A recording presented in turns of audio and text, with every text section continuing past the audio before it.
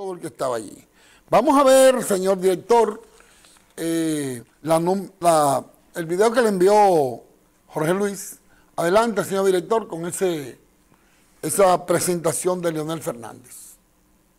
Mire, dentro de esos productores ahí está uno de los eh, que hacen programa nocturno, eh, es Blas Santos Alvarado, que tiene una pregunta. Blas Santos hace un programa que se llama Cerrando. Y él hace, él hace esto cuando lo menciona el programa. Cerrando. Acabo de cerrar.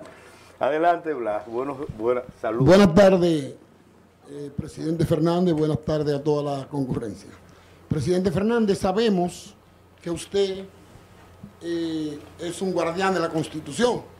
Lo demostró en frente al Congreso para evitar una posible reelección de Danilo Medina.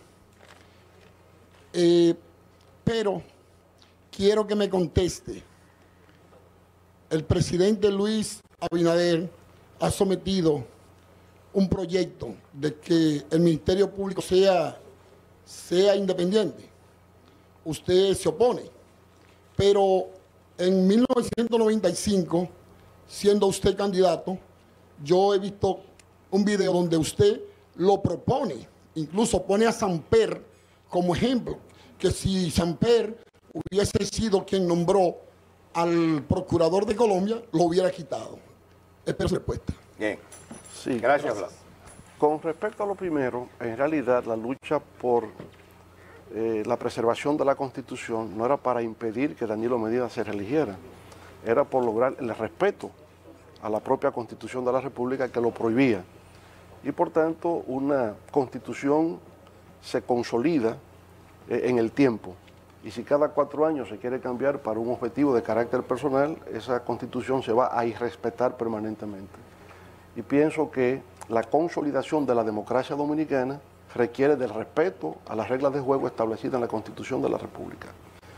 Con respecto a lo que ha sugerido el presidente Luis Abinader, de modificar la Constitución ahora para establecer la independencia del Ministerio Público, la respuesta que he dado es que esa reforma carece de objeto, en razón de que la Constitución de la República y la ley orgánica del Ministerio Público ya establecen la independencia del Ministerio Público.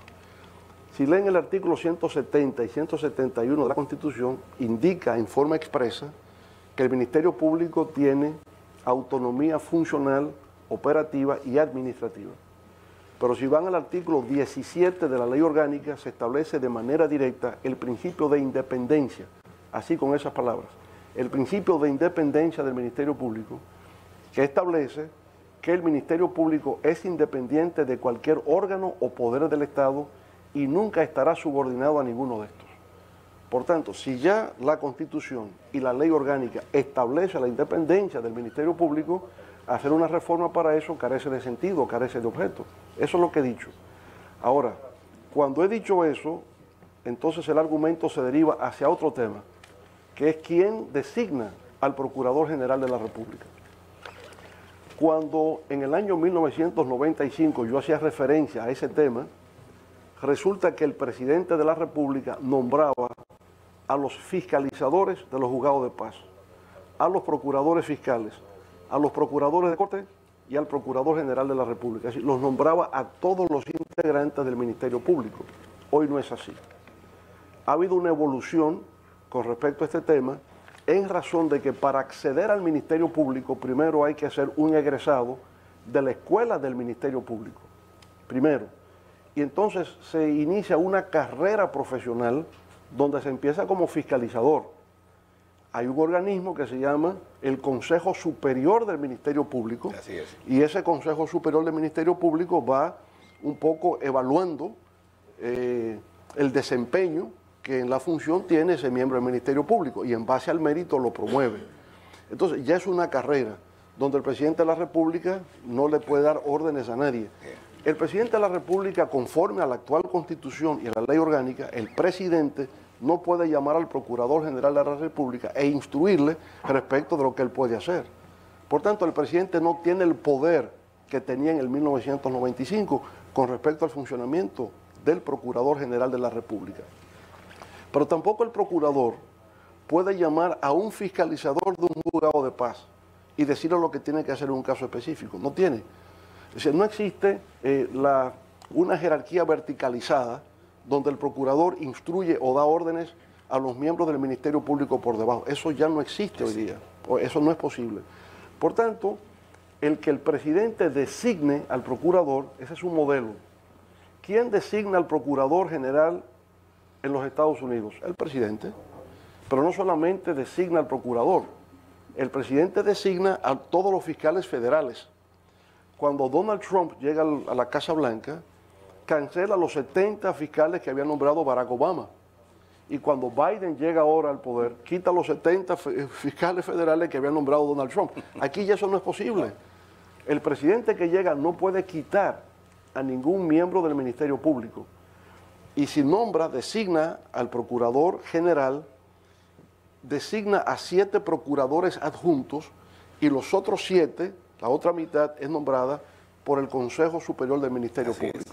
¿Correcto? Así es. Entonces, eh, el tema de la designación del procurador sería un tema diferente a modificar la Constitución para que el Ministerio Público sea independiente, porque el Ministerio Público constitucional y legalmente hoy día lo es.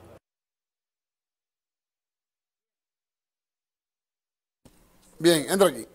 Bien, no me satisfizo la respuesta del doctor Leonel Fernández, pues él justifica que el artículo 170 de la Constitución dice que el procurador es autónomo, más no independiente. Ahí no está hablando, yo lo he leído ese artículo y no dice que es independiente, sino autónomo. Además, además, ¿En qué gobierno aquí usted ha visto que el procurador es independiente? ¿En qué gobierno hemos visto que el procurador es independiente? Que yo tenga uso de razón, lo tuve de los 12 años de Balaguer para acá. Tuve uso de razón. Cuando Balaguer ganó la, las amañadas elecciones de 1966, yo era un niño. Y, pero ahí fui creciendo y tuve uso de razón. Y Balaguer siempre manejó el Ministerio Público. Luego, los que le sucedieron, eh, Antonio Guzmán, después de 12 años, Jorge Blanco, eh, Balaguer de nuevo, luego Leonel Fernández, Hipólito Mejía, luego Leonel Fernández y ahora Danilo, eh, el penúltimo Danilo, manejaron todos el Ministerio Público. El artículo 171 de la Constitución dice que el Procurador General de la República debe ser nombrado por el presidente. Y si dijera el artículo 17, como dice el doctor Fernández, que no puede recibir orden del presidente, todos las han violado entonces, porque todos le han dado órdenes. Por ejemplo, no fue un títere de Danilo Medina, eh, no fue un títere de Danilo Medina, lo fue. El, Procurador General de la República no debe ser nombrado por el Presidente de la República, debe ser por un consejo, para que sea verdaderamente independiente. Ahora se dice que la magistrada Miriam y Jenny Berenice no son independientes porque son nombrados por el Poder Ejecutivo. Pero es que la Constitución dice eso. Y por eso es que hay que cambiar la Constitución.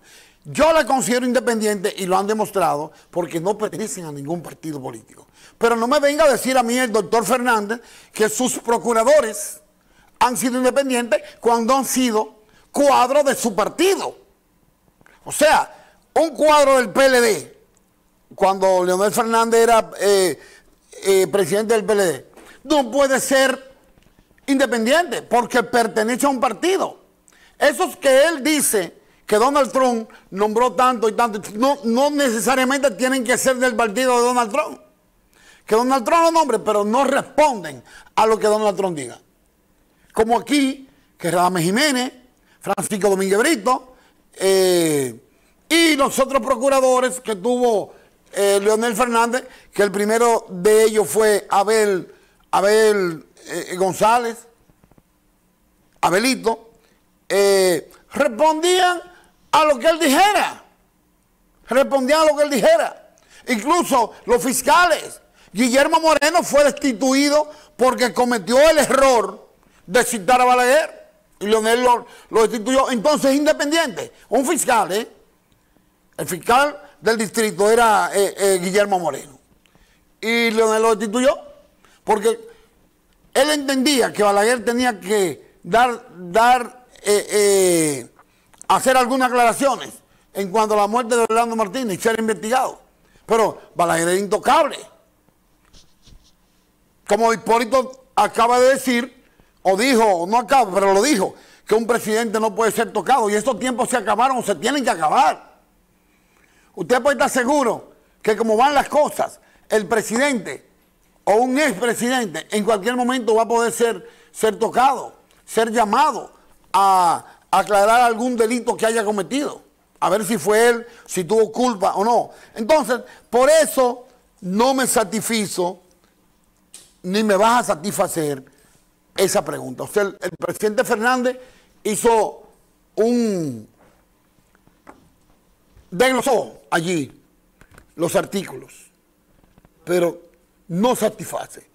Porque él se opone, como le dije en esa pregunta, a que, a que sea independiente. Él quiere justificar que son independientes. Pero dígame usted, ¿cree usted que Radamés Jiménez fue independiente en el gobierno de Leonel Fernández, siendo un cuadro del partido de Leonel Fernández?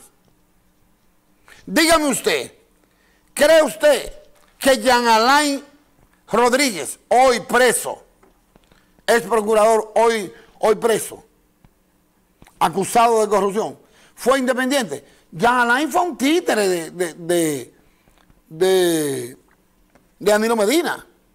Entonces Danilo Medina, primeramente Leonel Fernández y Danilo, y segundamente Danilo Medina, se hicieron una justicia a su medida. Procurador de la Corte General, de, la, Suprema Corte de Justicia, eh, todas las altas cortes, eh, eh, el Tribunal Superior Electoral, Cámara de Cuentas, Junta Central Electoral, todo cuadro del PLD. Entonces, ¿pueden ser independientes? No, señor, no pueden ser independientes. No son independientes y eso creo que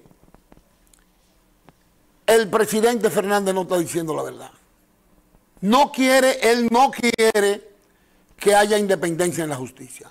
Y si usted no quiere que en la justicia haya independencia, usted no tiene buena fe con los destinos del país. Usted quiere llegar para manejarlo todo, como hasta ahora lo manejaron el presidente Fernández y el licenciado Danilo Medina.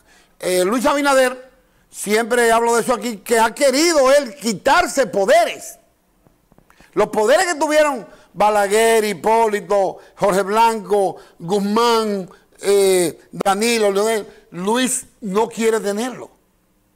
Porque no está bien que un país, la justicia, esté gobernada por el Poder Ejecutivo? Supóngase usted, ahí estaba Jan Alain, que Danilo Medina tuviera que ser investigado, aún siendo presidente de la República, o un familiar de Danilo Medina. Vayan a hacer eso, como pasó en Colombia, que Leonel en 1900 95 lo dijo, el presidente no debe nombrar al Procurador General de la República. Lo dijo. Y ahí está el video. ¿Por qué? Samper hoy está siendo investigado por, por narcotráfico. Si Samper, así mismo lo dijo él, hubiese sido que nombra al Procurador General de la República, lo hubiese quitado. O le dice por debajo, así mismo, mismo, o le dice por debajo, párame esa investigación ahí. Entonces, hoy viene él a justificar que no, que eso no fue lo que él dijo. Él lo dijo y ahí está. Y eso de que el artículo 170, 171 y 17 justifican, no, En ningún momento, ninguno de esos artículos dicen que el Procurador General de la República es independiente. El 171 dice que debe ser nombrado por el Poder Ejecutivo y eso es lo que no queremos. Eso es lo que propone el presidente